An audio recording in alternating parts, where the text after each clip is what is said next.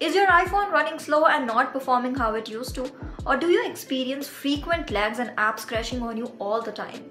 If your older model of iPhone is running slow or even a newer iPhone is not performing faster after the new iOS update, in this video we will show you how you can fix these issues with just a few simple methods and make your iPhone run faster. Clear your iPhone storage.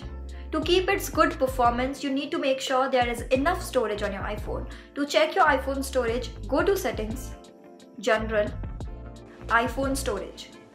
Now you can see your iPhone storage usage.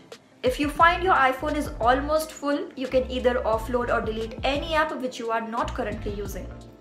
Similarly, you can also clear all the unwanted and large media files from your gallery and from WhatsApp and iMessage to clear storage space. Update iOS.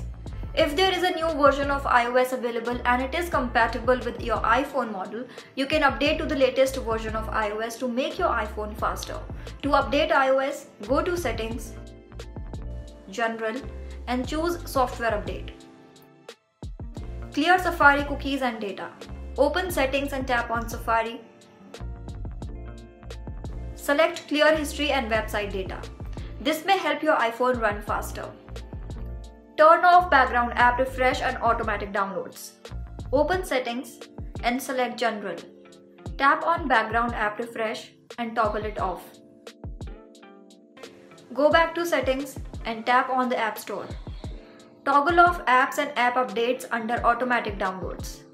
Remove background apps. If you don't want to follow all the above methods, then you can use the device monitor app that allows you to clear all RAM and memory directly. Go to App Store and download Device Monitor app. Once installed, here you can see all your device information.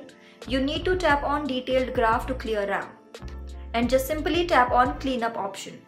It will take a few seconds and this will clean all the memory and everything that's running in the background on your device. So that's all. Using these methods, you can make your iPhone run faster. Do tell us which method you found most useful for your device in the comment section below. Also, if you found this video helpful, don't forget to like, share and subscribe.